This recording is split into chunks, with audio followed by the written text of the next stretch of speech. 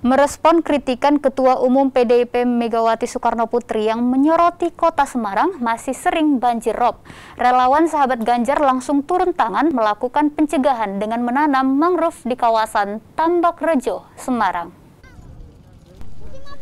Dengan dibantu oleh warga sekitar, perwakilan relawan sahabat Ganjar Sekariside dan Semarang melakukan aksi tanam mangrove di kawasan Tambak Rejo. Aksi ini sebagai bentuk kepedulian relawan sahabat Ganjar untuk melindungi perkampungan nelayan Tambak Rejo agar terhindar dari abrasi dan ancaman banjir serta rob. Aksi ini sebagai tidak lanjut relawan sahabat Ganjar atas kritik Ketua Umum PDI Perjuangan Megawati Soekarno Putri kepada Ganjar Pranowo terkait kota Semarang yang masih sering banjir terutama di kawasan pesisir Kampung Tambak Lorok dan Tambak Rejo. Syaratan dari Ibu Mega kalau Semarang sering banjir. Makanya kami kita dari sahabat Ganjar juga mau bantu Pak Ganjar untuk istilahnya apa ya uh, nunjukin kalau nggak diem jadi makanya kita tanam mangrove di sini.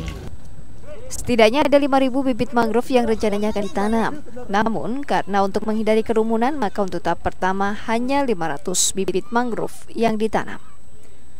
Sebelumnya relawan sahabat Ganjar ini menggelar deklarasi sahabat Ganjar secara virtual dan serentak diikuti 51 kota 34 provinsi se-Jawa Tengah.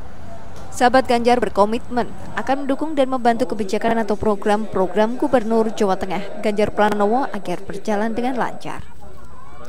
Senot Puji, Kompas TV, Semarang, Jawa Tengah.